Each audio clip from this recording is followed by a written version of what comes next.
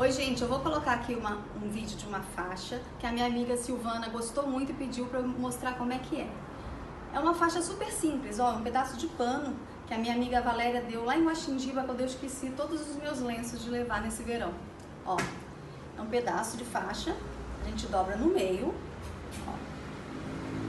Então desse lado ela fica dobrada e aqui ficam duas pontas iguaizinhas.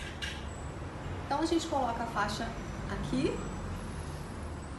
e aí eu dobro e amarro os dois pedaços aqui.